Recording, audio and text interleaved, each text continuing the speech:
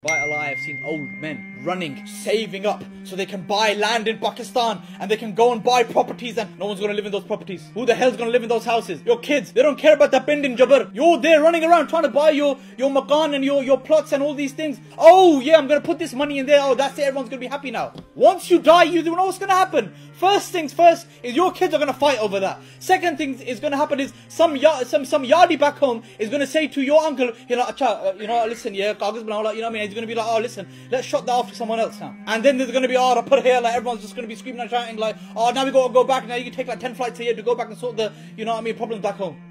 Do you know how many times I've seen this? You know how many times? All because of what? Oh, we wanted more dunya. Uh, uh, makan in my name. Old men, old men can't get rid of this habit. Old men can't get rid of this habit. You're one foot in the grave, Babaji, and now you're still worried about your yard.